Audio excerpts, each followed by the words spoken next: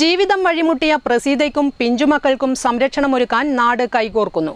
ഇവർക്ക് അടച്ചുറപ്പുള്ള ഒരു വീടൊരുക്കാനായി കവായി ശാഖ മുസ്ലിം യൂത്ത് ലീഗ് കമ്മിറ്റിയുടെ വാട്സപ്പ് ഗ്രൂപ്പ് പിടിച്ചെടുത്ത തുക കൈമാറി. വാർഡ് കൗൺസിലർ ഹസീന കാട്ടൂർ തുക ഏറ്റുവാങ്ങി.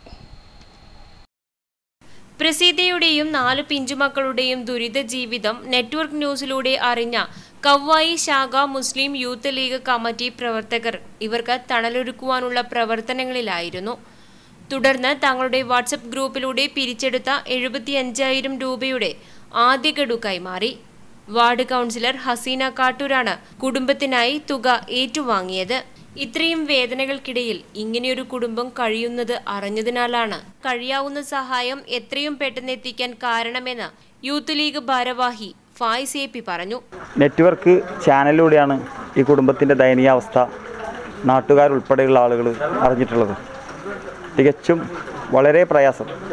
നമ്മുടെ നാട്ടിൽ തന്നെ ഇത്രത്തോളം ആളുകൾ ജീവിക്കുന്നുണ്ട് എന്നറിഞ്ഞതിലുള്ള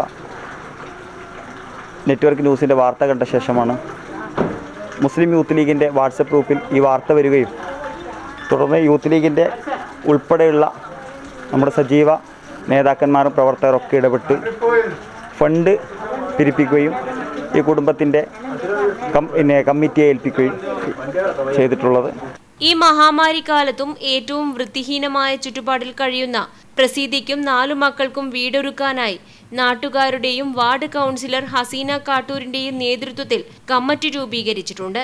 അതിലേക്ക് വലിയൊരു കൈത്താങ്ങ് തന്നെയാണ് കവ്വായി ശാഖ മുസ്ലിം യൂത്ത് ലീഗ് കമ്മിറ്റിയുടെ വാട്സപ്പ് ഗ്രൂപ്പ് പിരിച്ചെടുത്ത തുക നൽകിയതിലൂടെ ലഭിച്ചിരിക്കുന്നതെന്ന് കമ്മിറ്റി കൺവീനർ സി കൃഷ്ണൻ പറഞ്ഞു. രണ്ട് മാസം കൊണ്ട് തന്നെ പ്രസീതയുടെ വീട് പൂർത്തിയാക്കി.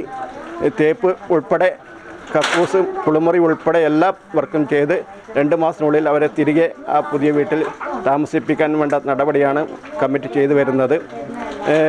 അടുത്ത് തന്നെ നാളെ തന്നെ ഇവരെ ഒരു സുരക്ഷിതമായ വീട്ടിൽ വാടകയ്ക്ക് വാടകയെടുത്ത് ഒരു വീടെടുത്ത് അവിടത്തേക്ക് മാറ്റാനുള്ള ശ്രമം നടന്നു വരികയാണ്.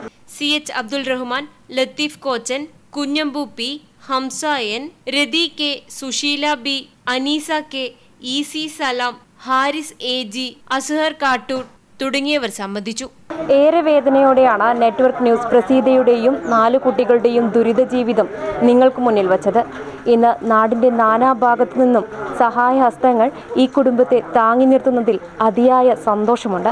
നെറ്റ്വർക്ക് ന്യൂസിനു വേണ്ടി ക്യാമറാമാൻ പവിത്രൻ കണ്ടോത്തിനൊപ്പം കെ എൻ വർഷ.